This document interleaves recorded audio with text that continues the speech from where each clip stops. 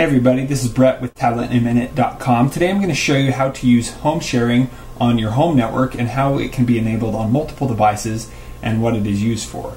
Home sharing can be enabled up to five different computers on your home network.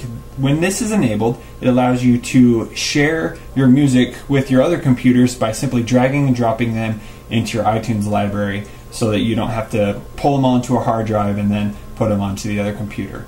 To enable this on the Mac, you go to advanced and on the PC, I think it's in a different folder, but then you go and type in your Apple ID.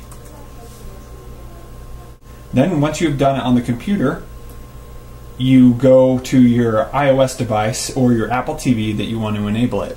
Then in the settings, you can either go to music or video.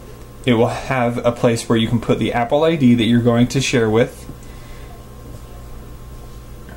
Once you've typed in your password, it will then enable your home sharing on your iPad. Then if you go to videos, you will see a shared tab. There it will show you all the shared libraries on your home network.